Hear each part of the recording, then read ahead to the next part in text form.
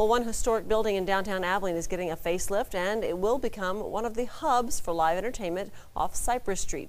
KTAB's Tyler Henderson touring Nora Hall, the soda stage, and he got the latest on the downtown's revitalization.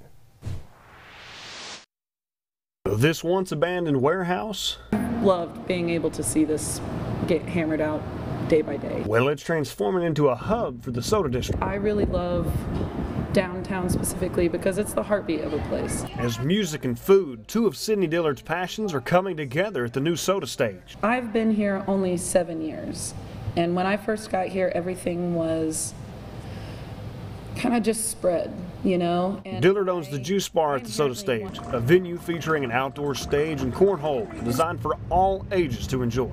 And now we're at a point where it's it's like, wow, whoa, this was way different last time I was here, and more people are coming back to be able to see that there was such a huge change. Downtown, the old Paxton building turned restaurant turned church is seeing some more changes. As much as we love to preserve Abilene's history, we really want to kind of give it a fresh look. Becoming Nora Hall, named after the building owner's daughter, is an all-inclusive entertainment venue, but still capturing that deep history. It's really important for us to keep the floors but completely refinish them. I don't know, kind of make it look new and improved while preserving its history in downtown Abilene. Still letting those Abilene roots shine through as a new modernized downtown becomes a reality. In Abilene, with coverage you can count on, Tyler Henderson, KTAB News.